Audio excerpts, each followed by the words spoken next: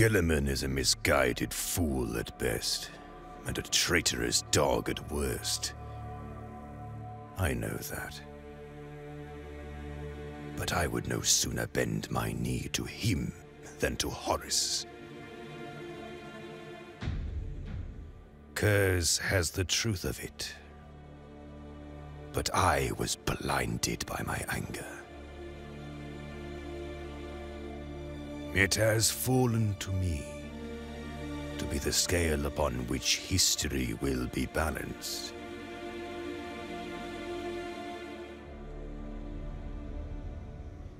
Every event has its counter.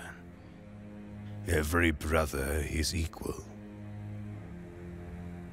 Curze seeks to sap my morale and the strength of my legion with unending war. Such shall be the duty of the Dark Angels. Yes, they will be ready for the task. There will be no new Emperor, only a lifetime of war. My brothers will bleed each other dry, contesting for eternity until there can be no victor. No. Not even him. There is only the Emperor.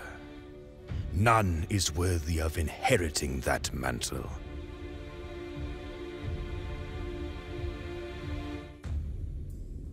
I will ensure the Legiones Astartes destroy themselves before another matches the power upon Terra, and, faced with the prospect of mutual annihilation, my brothers may come to terms. Horus would be forced to acknowledge the Emperor again, and Guilliman and the others would not usurp their true master.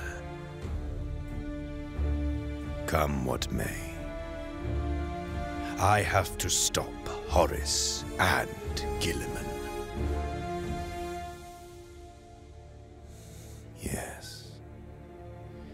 Even if it costs me my legion.